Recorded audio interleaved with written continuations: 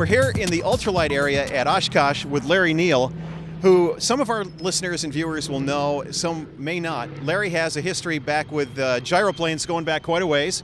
Uh, was involved with the redesign of the Air Command airframe to make it centerline thrust back in the early 1990s, I guess. Is that about right? Larry's company now is called the Butterfly LLC, and its crowning achievement is sitting behind us here, the Super Sky Cycle. Larry, first, thanks for joining us. And what is this thing? It's a uh, roadable rotorcraft or a flying motorcycle. The DMV says it's a flying motorcycle. That's fine with me. All right, now let's let's talk about the DMV for a minute because uh, uh, a lot of things you can build in your garage can be licensed to go on the road. This is true. Uh, did they look at you funny when you said it also flies, or did you not leave out that detail when you? Uh, didn't even tell them because the really the laws on uh, home built motorcycles is it has to have two or three wheels, brakes, lights, and mirrors. So we knew we didn't have a problem. Mm-hmm. Second sentence is some states require turn signals. Then it starts talking about helmet laws. So the laws aren't real strict on home built motorcycles. You can build about anything. Okay, now it's a little different with the home build aircraft. A few more hoops to jump through. Were there any issues there in, in achieving the compromises that the, you needed to do? The two FAA guys that came out were gold. They were actually the high, higher up officials, not just the examiners. They wanted to see the flying motorcycle.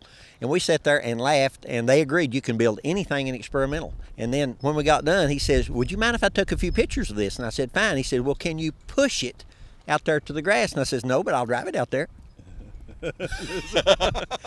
Let's talk about the transition from driving to flying.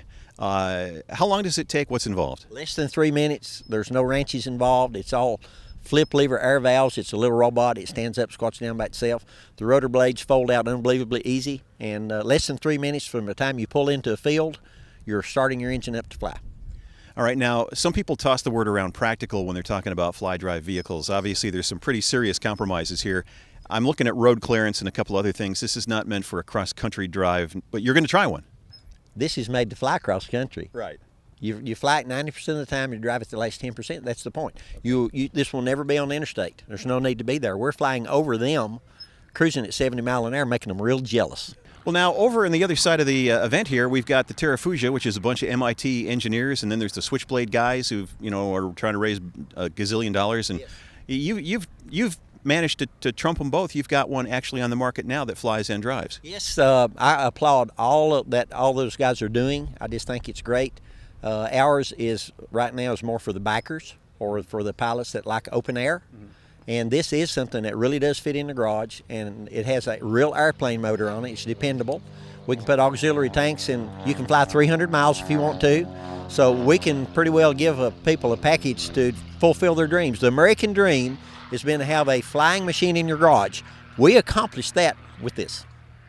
What's ahead for the future? I mean, are you taking a breath intellectually now, or are you looking ahead to even more fun projects? Our next step is uh, my niece is running the company.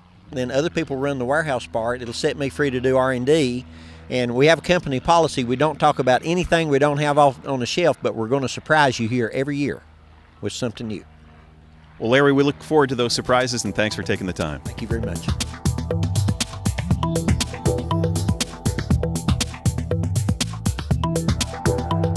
Aero TV is brought to you by Cirrus Design's Vision SJ50 single engine personal jet offers exceptional fuel efficiency, flexible seating for up to seven, advanced avionics, and all the Cirrus safety features you expect, including the Cirrus airframe parachute system.